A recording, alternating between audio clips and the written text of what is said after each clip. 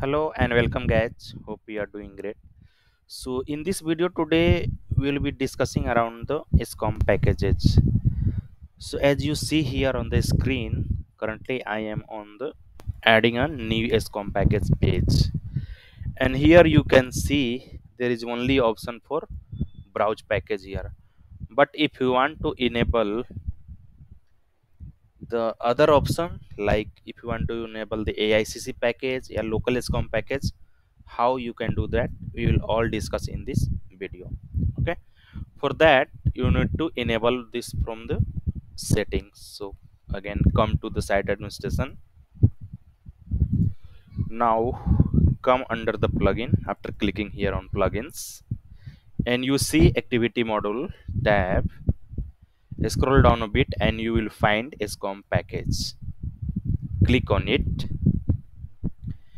And on this page itself search for external key.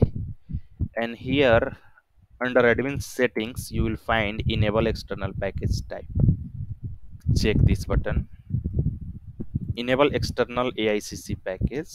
Also check this one. Enable direct AICC URL check this one and the moment you check this one and after clicking on the save you'll all set.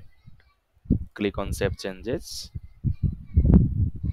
And again search for external and verify your changes. And you see uh, the changes you made is checked now.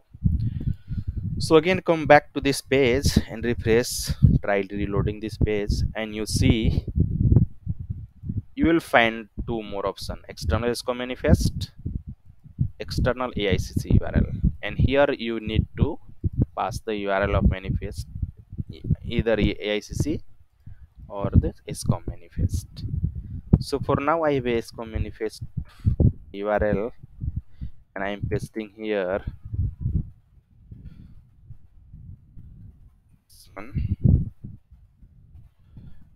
Name this one. Click on save display and here you see the number this one is created. Okay click here on the enter.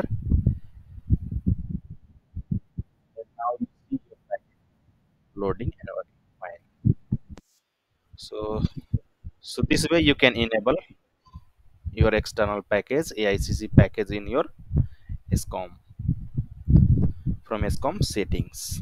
You can also edit this one if you want to change this to upload file you can also do that right?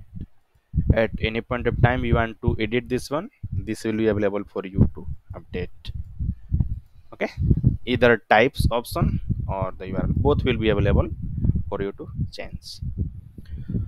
So hopefully you will be using this uh, feature in future as per your need business need thank you. Thank you for watching and have a great day ahead